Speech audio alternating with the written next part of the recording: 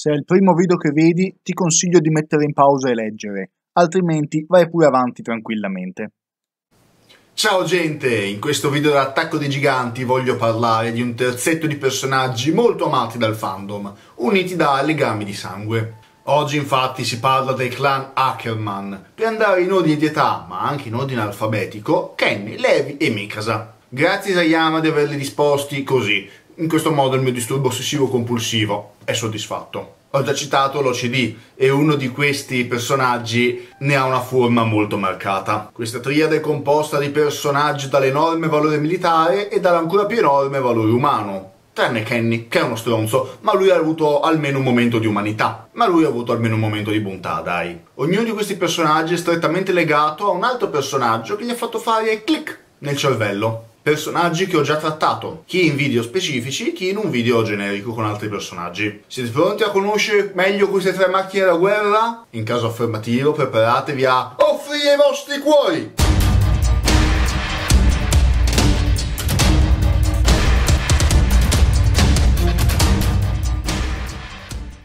Clan Ackerman è una famiglia eldiana. E già qui sorgono dei dubbi, visto che molti del fandom non la considerano tale. Dopotutto non è soggetta ai poteri che di solito condizionano il popolo di Mir, ma i suoi membri vengono comunque richiamati nei sentieri quando Eren fa le varie convocazioni. Quindi io vedo la loro probabile origine come una famiglia eldiana in cui uno degli antichi possessori del gigante progenitore abbia un po' pasticciato con il potere di controllare i corpi, così da ottenere delle guardie del corpo perfette, talmente perfette da rendere renderli immuni ai suoi poteri e a quelli dei suoi successori. Non importa l'origine, sembra che il loro potere sia quello di sapere sempre cosa fare nei momenti di frenesia del combattimento e, almeno sembra, di ottenere le capacità fisiche di un gigante senza trasformarsi, senza perdere raziocinio e senza dover ereditare uno dei nove giganti in mutaforma. Secondo altre fonti, invece, sono in grado di ottenere tutte le capacità e le esperienze di combattimento dagli Ackerman del passato ricevendole tramite i sentieri. E già il fatto che siano connessi ai sentieri direi che li rende eldiani. Sappiamo tutte queste informazioni da Zick che non è mai stato un gran studioso,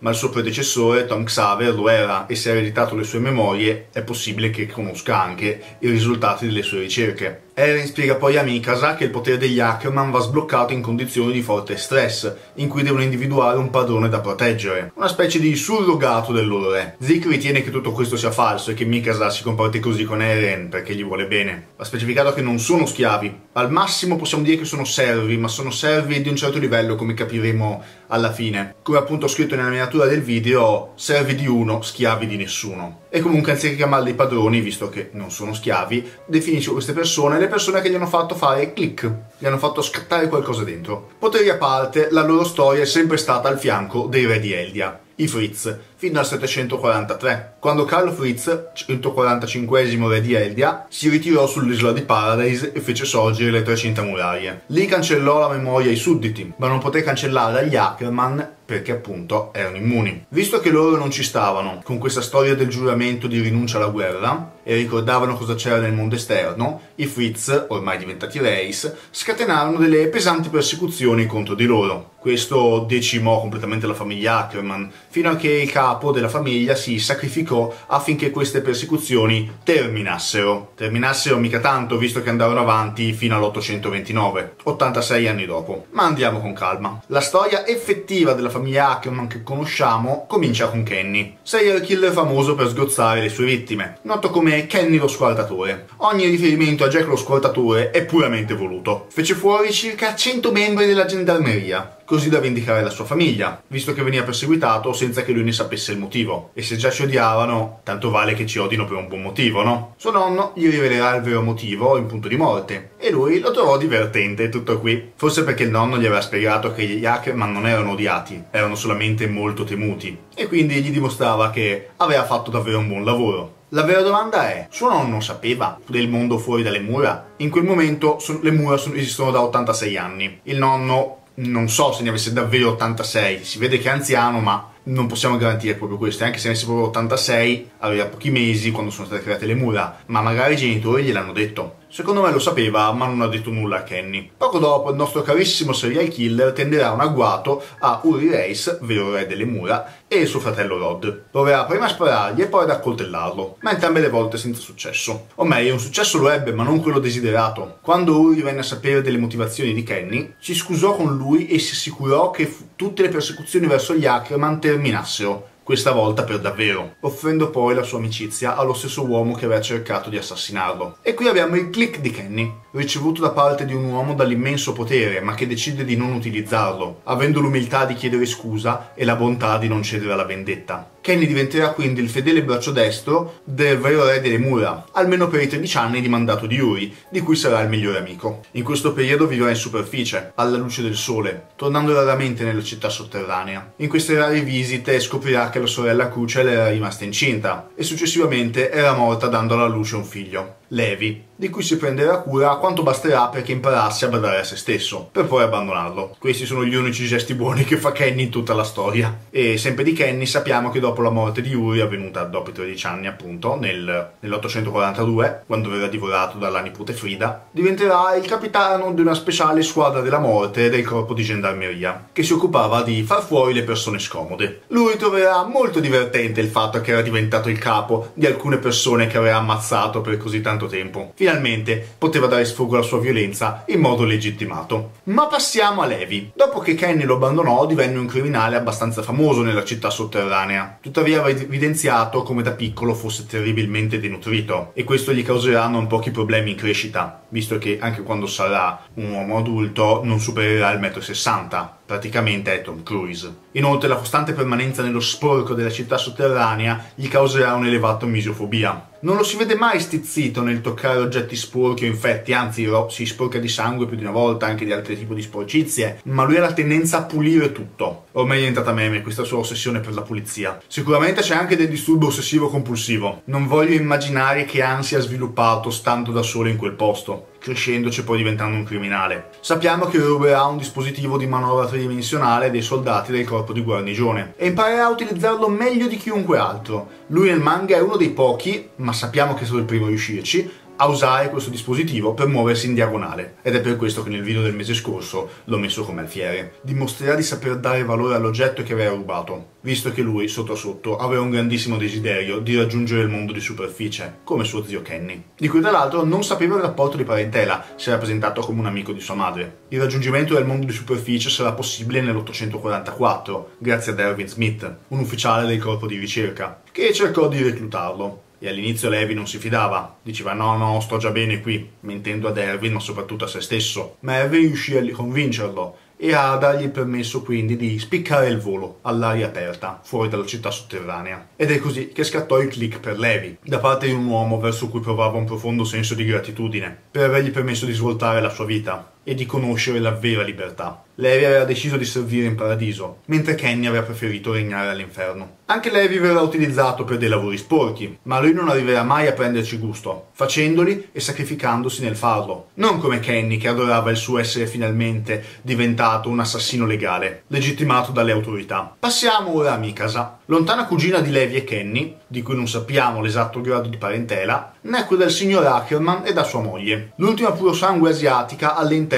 delle cinte delle mura discendente dalla famiglia Zumabito. Lei marchierà il polso della figlia con il simbolo del loro clan, cosa che non verrà ripresa per un bel po' di tempo, ma che tornerà molto utile 100 capitoli più tardi. Stavo dicendo, Mikasa nacque il 10 febbraio 835. Nell'844 i suoi genitori vennero ammazzati da dei trafficanti di esseri umani che la volevano rapire, ma grazie all'intervento di Eren Yeager riuscirà a salvarsi. Va detto che durante il salvataggio era nello stato catatonico più assoluto, ma venne riscossa dalla motivazione che le diede Eren, che la spingerà a impugnare un coltello e a fare fuori l'ultimo rapitore e in questo modo scatterà il click anche per Mikasa. Verrà quindi adottata dal dottor Jäger, padre di Eren, mentre il figlio le avvolgeva il volto con una sciarpa, facendola sentire al sicuro e protetta e promettendola che ci sarebbe sempre stato per lei. E in questo modo il click fu definitivo da parte di Eren. Ormai era perdutamente innamorata. Sarà un amore molto cavalleresco, molto platonico, non ci sarà nessuna consumazione. Diciamo che era casto e volto più che altro alla protezione di Eren da parte di Mikasa. Rivediamo tutti questi personaggi nell'845, con l'arrivo del gigante colossale corazzato. Mikasa perderà altri due genitori, Grisha e Carla Jäger, finendo come una sfollata nel ruolo Rose. Kennen verrà invece inviato dalla nobiltà per far fuori l'amante e la figlia illegittima di Rod Race in quel momento in cui il potere dei titani stava vacillando. Riuscirà ad ammazzare soltanto Alma, mentre Historia verrà risparmiata e inviata poi come sfollata e poi come militare. Levi invece resterà al fianco di Erwin quando questi divenne il tredicesimo comandante dell'armata ricognitiva. Nel suo corpo si arruolerà Mikasa dopo due anni passati a fare la contadina e altri tre anni nel 104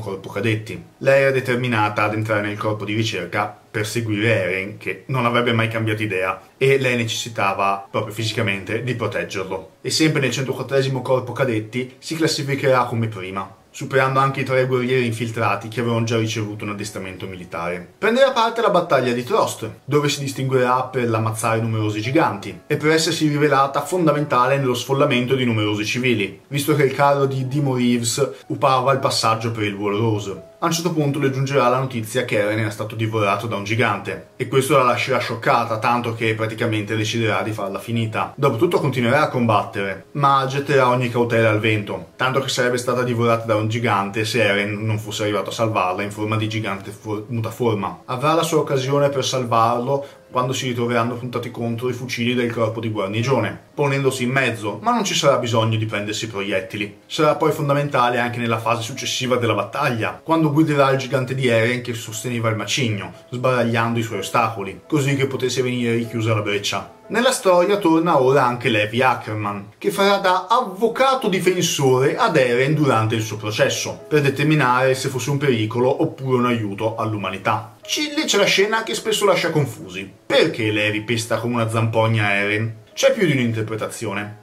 Dimostrare che Eren è sotto controllo, visto che non si ribella né si trasforma in un gigante, ma anche dimostrare a tutta la corte come non gli verrà riservato nessun favoritismo. Come lo aveva già spaccato di botte mentre era ancora mansueto, lo avrebbe spaccato di botte anche se avesse provato a ribellarsi. E per maggior sicurezza Eren verrà accolto nella squadra Levi, dove farà la conoscenza di tanta carne da cannone. Forse si è sentito male, volevo dire, farà la conoscenza di tante brave persone. Tutti si ricordano di Petra perché era la più carina, ma cito i nomi di tutti per dargli giustizia. Elgin, Gunther Schulz, Olu Bosado e infine Petra Rall. Prenderanno parte alla 57esima spedizione fuori dalle mura, in cui Eren verrà preso di mira da anni. Lì l'intera squadra Levi si sacrificherà contro di essa, escluso il capitano, per proteggere Eren, ma invano. Lì allora Levi furioso si scaglierà contro Annie in forma di gigante femmina e anche Mikasa lo farà e riusciranno comunque a salvare Eren. Mikasa avrà anche un ulteriore scontro contro di essa quando le tenderanno un'imboscata nel distretto di Storhes, visto che la trappola non funzionò come previsto e quindi ci fu comunque lo scontro tra Eren gigante d'attacco e danni gigante femmina. Mikasa anche questa volta sarà fondamentale, visto che trancerà le dita di Annie mentre questa cercava di scappare arrampicandosi oltre il Wolsina. Quel momento in cui Mikasa dice ad Annie di cadere è esemplificativo di quello che hanno fatto, barra faranno gli Ackerman alle loro persone speciali, quelle che gli hanno fatto scattare il click. Né Levin né Mikasa sono coinvolti negli eventi di Castello Utgard, ma Mikasa è sulle cima del World Rose quando Rainer e Bertold si rivelano come gigante corazzato e gigante colossale. Cerca di eliminarli prima che possano trasformarsi, tagliando una mano a Rainer e sgozzando Bertold, ma invano. Sarà anche tra i primi di quelli che raggiungeranno Rainer in fuga, quindi potrà sentire Bertold che piangeva e dava quella mezza confessione. Verrà ferita nel tentativo di salvare Eren e quindi dovranno assistere impotenti mentre Hannes veniva divorato dal gigante di Dina Fritz. Non avrà modo di difendersi e quindi ormai, un po' come tutti, si stava preparando alla fine e si limiterà a consolare Eren prima dell'inevitabile, ringraziandola ancora una volta per essersi preso cura di lei e per averla aiutata molto in quei sei anni. Secondo me lì davvero Mikala si stava preparando a morire e comunque non riuscirà a confessare il suo vero amore per Eren. Tuttavia si salveranno per il contatto tra il gigante fondatore di Eren e il gigante di sangue reale di Dina Fritz. In questo modo si attiverà la coordinata e molta gente riuscirà a salvarsi. L'arco narrativo in cui tutti e tre gli Ackerman avranno un ruolo, pur senza incontrarsi mai effettivamente, sarà quello del colpo di Stato, ma incontrarsi tutti e tre, dico. A coppie si incontreranno. Mikasa si occuperà della sicurezza di Eren, come sempre, ma questa volta non farà un buon lavoro, visto che verrà rapito e portato nella grotta dei Reis. Ken invece cercherà di mettere i bastoni tra le ruote ai nostri eroi, venendo a sua volta ostacolato da Levi. I due si scontreranno nelle vie del distretto di Trost, in uno degli scontri tra umani più fighi di tutta questa opera. Mikasa sarà anche una delle fautrici dell'alleanza con i Raves, stessa famiglia che qualche mese prima stava rallentando lo sfollamento dei civili del distretto di Trost. Ma questa volta saranno utili alla causa dell'armata ricognitiva. Nel mente Levi si occuperà di torturare i prigionieri insieme a Danji. Come ho detto, lui veniva utilizzato tranquillamente per i lavoretti sporchi. Nel frattempo Kenny era rimasto alleato di Rod Race, anche se un'alleanza di mera facciata. Visto che aveva intenzione di trasformare se stesso in un gigante, e divorare Eren, così da ottenere lui i poteri che erano stati del suo migliore amico Uri. Tuttavia, ascoltando le parole di Rod, scoprirà che il vero potenziale poteva essere sbloccato soltanto da un membro della famiglia reale.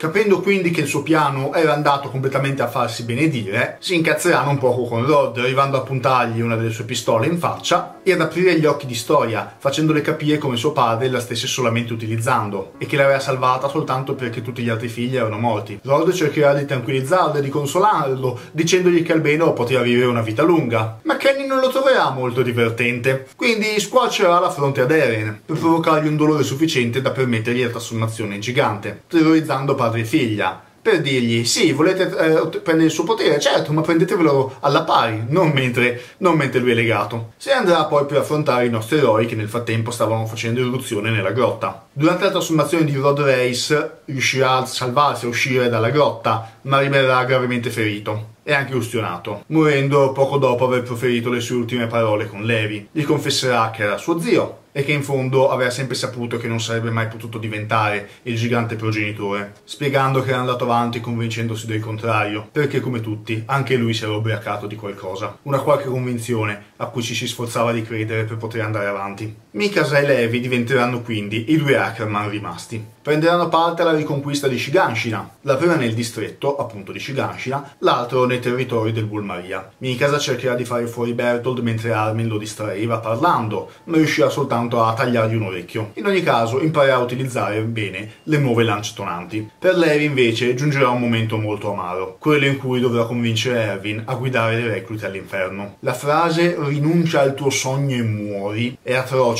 ma mostra come Levi sia la persona giusta per questo genere di cose. Lui e tutti gli Ackerman. Kenny era stato sul punto di uccidere Uri. Levi ha dato ad Erwin il permesso di morire, anzi glielo ha praticamente ordinato, mentre Mikasa sappiamo bene cosa farà con Eren. Levi arriverà a scontrarsi contro il gigante bestia, mettendolo in seria difficoltà, ma questi si salverà soltanto grazie a Pick e anche ai giganti puri sotto il suo controllo. E dopo questa battaglia ci sarà lo scontro tra di lui e Mikasa. Mikasa voleva salvare Armin con il siero del gigante Levi voleva salvare Erwin. Il capitano andrà davvero in difficoltà nel compiere una simile scelta, ma alla fine salverà Armin, perché lui vedeva un possibile futuro, mentre per Erwin non ci sarebbe stato nessun margine di avanzamento, e inoltre sarebbe stato un uomo spezzato. Parlerà con il suo corpo esanime fino a che alla fine lui non spirerà, e per quanto fosse in stato di incoscienza non potesse rispondergli, probabilmente gli fece piacere sentire la voce del suo migliore amico, almeno nei suoi ultimi istanti. Da lì in poi Levi avrà un'importanza molto ridotta. Tutto quello che farà sarà in funzione di Zik, che vorrà ammazzare, come aveva promesso ad Erwin prima che questi andasse a morire. Questa può sembrare un'involuzione, ma alla fine dei conti è ragionevole, perché senza la persona che proteggeva, la sua vita era vuota. Mikasa invece ha una parte più interessante, e non parlo di quando incontrerà gli Azumabito che le diranno che era erede di sta ceppa. Lei è simile ad Eren su molti aspetti,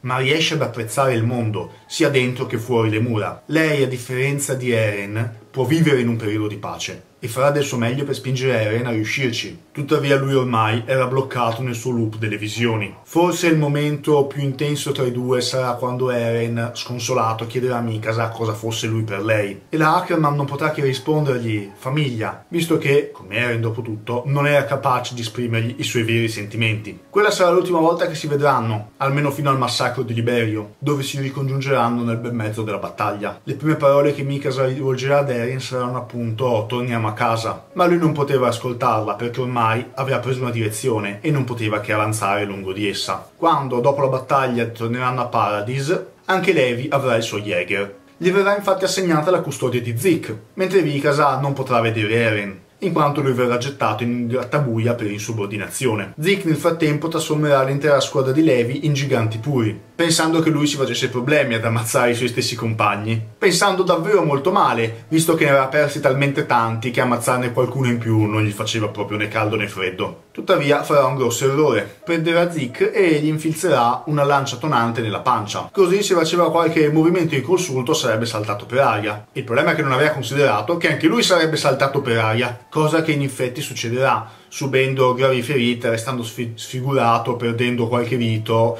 e sappiamo che alla fine di tutta quanta la storia sarà in sedia a rotelle. Le cure di primo soccorso verranno prestate da Angie, che per quanto sappiamo abbia delle capacità mediche, non è un, un dottore o una dottoressa. Mikasa invece si ricongiungerà con Eren, ma solo per sentirsi dire in faccia che era sempre stata odiata. Eren mentendo le dirà che non avrà provato altro che disgusto nei suoi confronti, nel vederla prostrarsi come una sua schiava, dimostrandosi priva di libero arbitrio. Riuscirà quasi a condizionarla, visto che quando Armin cercherà di tirargli un pugno, Mikasa fermerà Armin. Tutto questo ovviamente era una strategia di Eren per fare in modo che lei si allontanasse da lui, che gli permettesse di fare ciò che non aveva alternativa di fare. Avrà la sua parte nella battaglia successiva, a differenza di Levi che era ancora ferito, eppure nell'inseguire la marcia dei colossali, fino a Fort Salva, mentre verrà scosso dal continuo dubbio se sarebbe riuscito ad affrontare Eren oppure no. Lo scoprirà nel corso della battaglia del cielo e della terra, dove lei e Levi saranno gli unici Eldiani a non venire trasformati in giganti puri dopotutto erano degli Ackerman. I loro bersagli principali saranno i fratelli Jäger. Levi riuscirà a decapitare Zeke, nonostante le sue mutilazioni, arrestando quindi la marcia dei colossali, mentre Mikasa riuscirà ad entrare nelle fauci del gigante fondatore e a decapitare la testa di Eren, mostrando il suo amore, finalmente baciandolo. Prima Eren le aveva offerto una visione in cui i due scappavano dalla guerra e passavano insieme gli ultimi quattro anni di vita che restavano ad Eren. Tuttavia lei resta legata a lui per molto tempo, anche dopo la fine della storia, visto che la si vede nelle tavole conclusive seduta vicino all'albero dove è stata sepolta la sua testa, mentre l'uccello le becca la sciarpa, rimettendogli a posto, proprio come aveva fatto Eren. E giuro che se quell'uccello è veramente Eren, lo faccio arrosto, perché ha proprio impedito a Mikasa di andare avanti, neanche dopo anni che erano passati, che erano passati anni da, da quando ormai era morto. Siamo qui alle conclusioni. Dico brevemente che Levi è un personaggio molto amato dal fandom, ma io non lo amo così tanto, cioè mi piace perché è figo, ma secondo me ci sono personaggi molto più fighi all'interno di tutta l'opera di Isayama. Per dire, all'interno sempre di questo terzetto, Mikasa è dannatamente più affascinante. Levi, sì, è bello, non lo metto in dubbio, ma c'è di meglio. Poi ovviamente non voglio criticare il suo fandom, anzi, se ci ho fatto un video dove si parla anche di lui, forse è perché merita. Le azioni di Mikasa invece hanno spinto Ymir a capire che nonostante amassi un gran cattivone, potevi disprezzare le sue scelte e questo la spingerà a porre fine al potere dei giganti. Ed è questo il legame finale degli Ackerman con la famiglia reale, con la stessa progenitrice Ymir. In questo modo il cerchio si è chiuso. Gli Ackerman sono sempre state le guardie del corpo dei re di Eldia. Sono stati i loro pretoriani. Come pretoriani erano guardie del corpo, una polizia speciale e talvolta anche giudici e carnefici degli imperatori stessi. Il percorso degli Ackerman li ha condotti ad eliminare la loro persona speciale. Se ereditano le capacità combattive degli Ackerman precedenti, attraverso i sentieri è ragionevole che ne ereditino anche i progressi. Kenny aveva iniziato cercando di uccidere Uri. Lei aveva dato il permesso ad Erwin di morire, mentre Mikasa ha ucciso a tutti gli effetti Eren. Kenny aveva preferito regnare all'inferno, Levi servire in paradiso, Mikasa invece di vivere nel nostro mondo e apprezzarne la bellezza, anche per chi, come Eren, non era in grado di farlo. Kenny non desiderava altro che poter compiere le sue malefatte indisturbato. Levi desiderava la libertà e Mikasa desiderava Eren, che a sua volta era libertà. Questi sono i loro motori, che li hanno portati a fare grandi cose. Nel caso di Kenny terribili, ma comunque grandi. Levi si era ubriacato poco, non a caso, tra i suoi compagni, mentre fa la guardia a Zik, è l'unico che non beve il vino intossicato. Ma sia Kenny che Mikasa si erano ubriacati di qualcosa. Kenny di poter diventare un gigante potentissimo e ottenere il potere del suo amico Uri, e Mikasa si era ubriacata del pensiero di poter cambiare Eren di poterlo rendere felice, nonostante lui non sarebbe mai potuto essere felice in tempo di pace. Solo che alla fine si era veduta, capendo che ciò non era possibile, e quindi lo ha eliminato, dandogli appunto la pace. Si spera che alla fine sia riuscita ad andare avanti e a vivere la sua vita. E alle tavole extra, quelle uscite un mese dopo del capitolo 139, ci fanno capire che probabilmente è così. A voi piacciono gli Ackerman? Qual è il vostro preferito del terzetto? La mia è Mikasa, ma come ho detto, non disdegno neanche gli altri due Ditemi tutto quello che volete su di loro, poi mettete un mi piace se il video vi è piaciuto, non mi piace se non vi è piaciuto, iscrivetevi al canale, attivate la campanellina, statemi bene e ciao ciao, alla prossima!